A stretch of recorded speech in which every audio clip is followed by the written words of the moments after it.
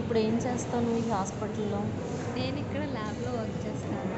Actually cancer patients samples మాకు వస్తాయన్నమాట. So మేము అవి చూసి ప్రాసెస్ అనాలిసిస్ అంతా చేసి వాళ్ళకి ఏ టైప్ ఆఫ్ క్యాన్సర్ వచ్చింది. సో అది మేము రిపోర్ట్ ఇస్తాం. దాన్ని బట్టి డాక్టర్కి అర్థమైంది. మేము ఇచ్చిన రిపోర్ట్ బట్టి వాళ్ళకి ట్రీట్మెంట్ అనేది వాళ్ళు చేస్తారు.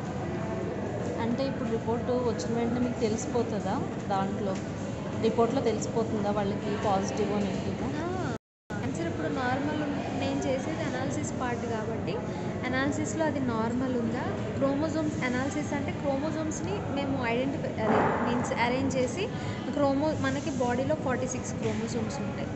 ట్వంటీ టూ పేస్ క్రోమోజోమ్స్ రెండు వచ్చేసి సెక్స్ని డిఫరెన్షియేట్ చేస్తారు అది మేలా ఫీమేల్ అని చెప్పేసి. టోటల్ ఫార్టీ సిక్స్ క్రోమోజోమ్స్ ఆ క్రోమోజోమ్స్ అన్నీ కరెక్ట్ షేప్లో ఉండి ప్రాపర్గా ఉన్నాయంటే అది నార్మల్ ఆ క్రోమోజోమ్ స్ట్రక్చర్ ఏమన్నా డిఫరెంట్గా ఉండి లేదంటే కొంచెం డిలీట్ అయిపోయో లేదంటే మిస్ అయిపోయో అట్లా నెంబర్ తగ్గినా పెరిగినా దాన్ని బట్టి చూసి ఓకే వీళ్ళు అబ్నార్మల్ వీళ్ళకి ఇది ఉంది అని చెప్పేసి మేము రిపోర్ట్ ఇస్తాం.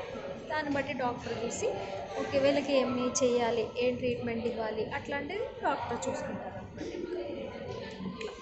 మొత్తం మీ చేతిలోనే ఉంటుంది కదా? ఆ అనాలిసిస్ పార్ట్ అంతా మేమే చేస్తాం. మోస్ట్లీ నేనే చేస్తాను. అండ్ నా నా దగ్గర నుంచి నా హెచ్ఓడికి వెళ్తుంది అనమాట ఎందుకంటే ఫైనల్ ఆయన చేస్తాడు కాబట్టి మనకి ఓన్లీ అనాలిసిస్ పార్ట్ వరకు ఉంటుంది మన క్వాలిఫికేషన్కి ఓన్లీ పిహెచ్డి వాళ్ళకే అవి అప్రూవ్ చేసే రైట్ ఉంటుంది అనమాట కంపల్సరీ పిహెచ్డి ఉండాలి. లేకపోతే మనకి అది కేసు క్రిమినల్ కేసు అవుతుంది సో ఎంఎస్సి లెవెల్ కాబట్టి అనాలిసిస్ పార్ట్ రిపోర్ట్ రైటింగ్ అంతా మాదే ఉంటుంది. కానీ ఫైనల్ లెవెల్లో హెచ్ఓడి అనేది ఒకసారి ఆయనకి వెళ్ళినాక ఆయన కూడా చూసి ఒకసారి ఓవర్గా ఒక లుక్ వేసి అప్పుడు అప్రూవ్ చేస్తారు. నేను చేసింది కరెక్టా కాదా అని చెప్పేసి ఒక లుక్ వేస్తారు. ఫైనల్ వెరిఫికేషన్ అనమాట ఆయన దగ్గరికి వెళ్ళి మీకు ఇప్పుడు రిపోర్ట్ వస్తుంది కదా. రిపోర్ట్ వచ్చిన తర్వాత అంతా చూసిన తర్వాత మీకు ఏమనిపిస్తుంది నెగిటివ్ పాజిటివ్ అట్లా వాళ్ళకి? బాధ అనిపి పాజిటివ్స్ వస్తే అంటే ఎక్కువ చిన్నపిల్లల్లో వస్తే చాలా బాధ అనిపిస్తుంది పెద్దవాళ్ళు ఏజ్డ్ పీపుల్ అంటే ఓకే. చిన్నపిల్లల్లో కొంత కొంతమంది మోస్ట్లీ అసలు ఎక్కువ వచ్చే రిపోర్ట్స్ ఏ పర్సన్స్కి ఎక్కువ వస్తున్నాయి? ఏ ఏజ్ వాళ్ళకి ఎక్కువ వస్తుంది? నువ్వు చాలా ఇయర్స్ నుంచి చేస్తున్నావు కదా ఇక్కడ. మోస్ట్లీ మిడిల్ ఏజ్ వాళ్ళకి అండ్ ఓల్డ్ పీపుల్కి వస్తాయి ఎక్కువ. చిన్నపిల్లలకి వస్తాయి కానీ ట్వెల్వ్ ఇయర్స్ అట్లా బేబీస్ కూడా వస్తాయి కానీ తక్కువ. ఎక్కువ మిడిల్ ఏజ్ ఓల్డ్ ఏజ్ వాళ్ళకి ఎక్కువ వస్తాయి.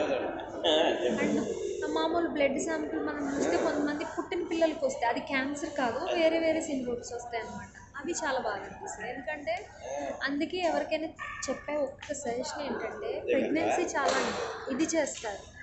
ఆ ప్రెగ్నెన్సీని మనం చాలా జాగ్రత్తగా నైన్ మంత్స్ మనీ అట్లా ఆలోచించుకోకుండా స్కానింగ్లు టెస్ట్లు చాలా ప్రాపర్గా మంచి వాళ్ళ దగ్గర చేయించుకోవాలి. ఎందుకంటే ఒక్కొక్కసారి బేబీస్కి క్యాన్సర్ కాదు. కొన్ని కొన్ని సిండ్రోమ్స్ వస్తూ ఉంటాయి. బై బర్త్ వస్తూ ఉంటాయి వాళ్ళకి. ఆ సిండ్రోమ్స్ని మనము స్కానింగ్లో ఐడెంటిఫై చేయొచ్చు. ఎవరో కొంతమంది ఐడెంటిఫై చేయలేరు కానీ మోస్ట్లీ ఐడెంటిఫై చేయొచ్చు. కాబట్టి ప్రెగ్నెన్సీ టైంలో ఇది క్యాన్సర్కి సంబంధించింది కాదు వేరే అబ్నార్మాలిటీస్ అనమాట చిన్నపిల్లలకి డౌన్ సిండ్రోమ్స్ అట్లా వస్తూ ఉంటాయి. అవి మనం ఈజీగా ప్రెగ్నెన్సీ టైంలో డిటెక్ట్ చేయొచ్చు. అక్కడ మిస్ అయిందంటే వాళ్ళు బర్త్ అట్లానే వచ్చేస్తారు. తర్వాత వాళ్ళు ఉన్నంత వరకు మనం మొయ్యాలి ఆ పెయిన్ అనేది ఇంక వాటికి మెడిసిన్స్ ఉండవన్నమాట.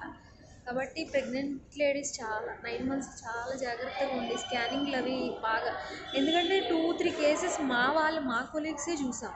వాళ్ళు అంత కేర్ఫుల్గా స్కానింగ్లు అవన్నీ బాగా చేయించుకున్నారు.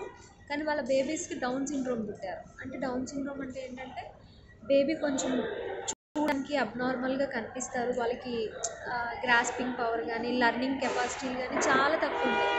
వాళ్ళు ఏంటంటే ఇంక మనం బ్రతికినంతకాలం వాళ్ళని జాగ్రత్తగా చూసుకోవడం తప్ప ఏం చేయలేం. దాంతోపాటు వాళ్ళకి చాలా డిసీజులు వస్తూ ఉంటాయి. అవన్నీ మనం కనిపెట్టుకుండాలి. ప్రాపర్ ట్రీట్మెంట్ ఇచ్చుకోవాలి. మీన్స్ కొంచెం బ్యాక్గ్రౌండ్ గట్టిగా ఉంటే పర్లేదు కానీ మిడిల్ క్లాస్ వాళ్ళకి వాళ్ళకైతే చాలా సఫర్ అవుతారు. మనకి ప్రెగ్నెన్సీ టైంలోనే మొత్తం తెలిసిపోతుంది.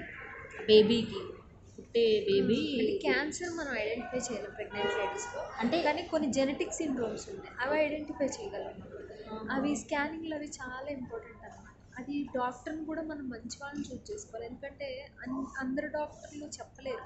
ఆ స్కానింగ్స్ కొంతమంది స్కానింగ్ సెంటర్ వాళ్ళు కూడా కరెక్ట్గా చెయ్యరు సో ప్రెగ్నెంట్ టైంలో మనం మనీ కోసం గట్టా ఆలోచించకుండా కొంచెం మంచి గైనిక్ దగ్గరికి వెళ్ళాలి మంచి స్కానింగ్ సెంటర్స్కి వెళ్ళాలన్నమాట.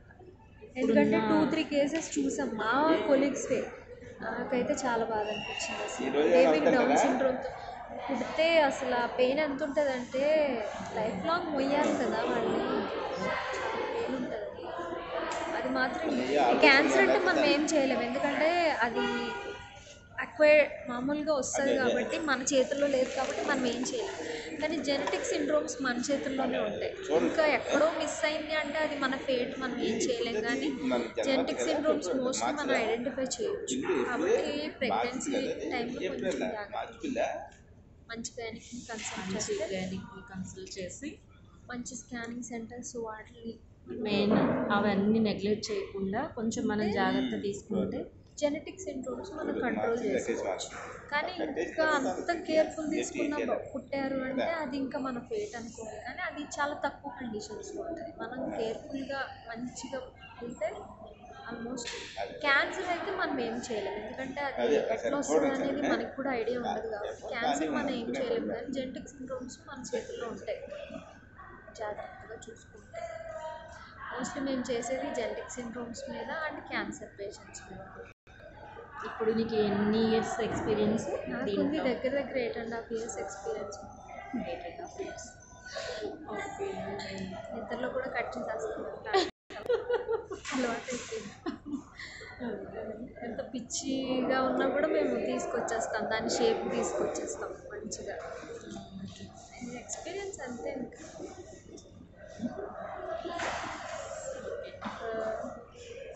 క్యాన్సర్ గురించి ఒక చిన్న అవగాహన. కదా? క్యాన్సర్ గురించి అవగాహన అంటే ఫుడ్ మంచిది తీసుకోవాలి. అంటే ఫుడ్ వల్ల క్యాన్సర్ అని నేను చెప్పట్లేదు కానీ హెల్తీ డైట్ ఉండాలి ఎప్పుడు కూడా మంది ఆల్మోస్ట్ హెల్తీ డైట్ ఉండాలి. ఎందుకంటే క్యాన్సర్ ఎట్లా వస్తుంది ఏంటి దానికి సిమ్టమ్స్ అంటే ఎవరూ చెప్పలేము అది కొన్ని ఫ్యామిలీ ఫ్యామిలీస్ నుంచి కూడా వస్తుంది. అట్లవి ఎట్లాంటివి అంటే మోస్ట్లీ ఫీమేల్స్లో ప్రోస్టేట్ క్యాన్సర్ ఇట్లాంటివి ఉంటాయి. అవి ఫ్యామిలీస్ వైజ్ వస్తూ ఉంటాయి. అట్లా ఎవరైనా వాళ్ళ ప్రీవియస్గా మదర్ కానీ అమ్మమ్మలు ఇట్లా ఎవరైనా చనిపోతే క్యాన్సర్తో చనిపోతే ఈవెన్ బ్రెస్ట్ క్యాన్సర్స్ అట్లా అప్పుడు మీరు ఒకసారి అవి దానికి సంబంధించిన టెస్ట్లు ఉంటాయి డిటెక్ట్ చేయడానికి. ఆ ఫ్యామిలీ ఉంటే హిస్టరీ ఉంటే మీరు చూపించుకుంటే మీరు డిటెక్ట్ చేయగలరు. అది కొంచెం అవగాహన పెంచుకొని. ఇప్పుడు కొన్ని కొన్ని బ్లడ్ క్యాన్సర్స్ అవి వస్తాయి. అవి ఎలా వస్తాయో మనకు తెలియదు ఇంకా మన ఫేట్ అనుకో వాటికి మనం ఏం చేయలేము. కాకపోతే ఎప్పుడు హెల్తీ డైట్ మెయింటైన్ చేస్తే బెటర్. అంతే. హెల్తీ డైట్ మెయింటైన్ చేయాలి. మెయిన్లీ ఫీమేల్స్ అయితే వాళ్ళకి ఎక్కువ ప్రాస్టేట్ క్యాన్సర్స్ ఇవే ఉంటాయి. బ్రెస్ట్ క్యాన్సర్స్ ఇవే ఉంటాయి. ఫ్యామిలీ హిస్టరీ ఉంటేనే కానీ లేకపోతే మనం అంత భయపడక్కర్లేదు. కానీ ఫ్యామిలీలో ఎవరికైనా ఉంది అంటే మనకి రావాలని ఏం లేదు. కాకపోతే ఛాన్సెస్ ఉంటాయి కాబట్టి మనం కొంచెం దానికి సంబంధించిన టెస్ట్లు ఉంటాయి మనం చేసుకొని ముందే అవన్నీ కొంచెం అవగాహన పెంచుకుంటే అంటే ఫ్యామిలీ హిస్టరీ ఉంటే పెంచుకుంటే మనం కొంచెం కాకపోతే కొంచెం తప్పించుకోవచ్చు. అసలు ఇప్పుడు మీకు వచ్చిన రిపోర్టింగ్ అంతా క్యాన్సర్తో వస్తుంది కదా.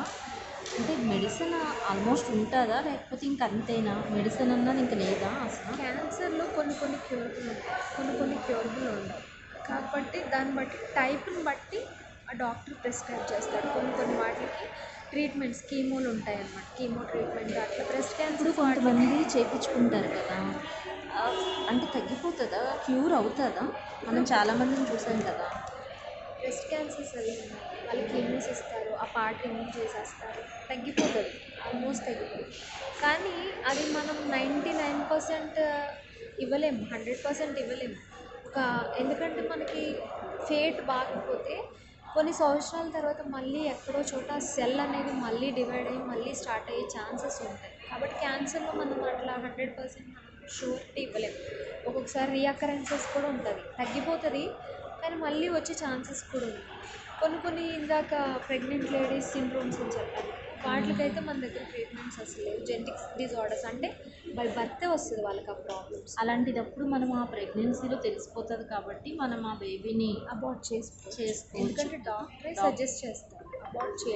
మనం మొండిగా ఉండకుండా కొంచెం అప్పుడే మనం స్టెప్ తీసుకుంటే ఇన్ ఫ్యూచర్లో బేబీ తోటి కష్టపడకుండా సిక్స్త్ మంత్లో యాక్చువల్లీ ఇట్లా డౌట్ ఉంటే వాళ్ళకి సిక్స్ మంత్ చేసినప్పుడు టిమా స్కాన్ చేస్తారు ఆ స్కాన్లో వాళ్ళు ఏమైనా అబ్నార్మాలిటీ ఐడెంటిఫై వాళ్ళకి ఏదైనా బేబీ అబ్నార్మల్గా అనిపిస్తే వాళ్ళు అమ్నియాటిక్ ఫ్లూయిడ్ చేయించుకుంటారు.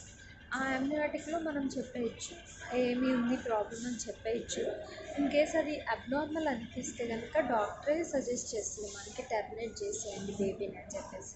సో మనకి చెప్పాలంటే తర్వాత పడే పెయిన్ కంటే అది బెటర్ కదా అనవసరంగా. ఆ బేబీని ఆ బేబీకి కూడా బరువే కదా.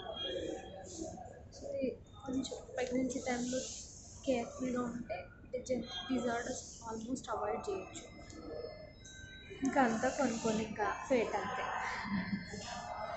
చెల్లి చాలా ఇయర్స్ నుంచి చేస్తుంది కాబట్టి కొన్ని కొన్ని డౌట్స్ క్వశ్చన్స్ అడిగానండి. ఎందుకంటే తనకు అంత తెలుసు కాబట్టి.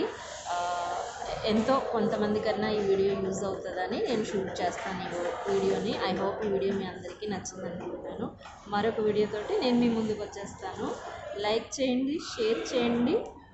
ఫ్రెండ్స్కి సజెస్ట్ చేయండి సబ్స్క్రైబ్ చేయండి. బాబా నువ్వు కూడా ఒకసారి చూడు.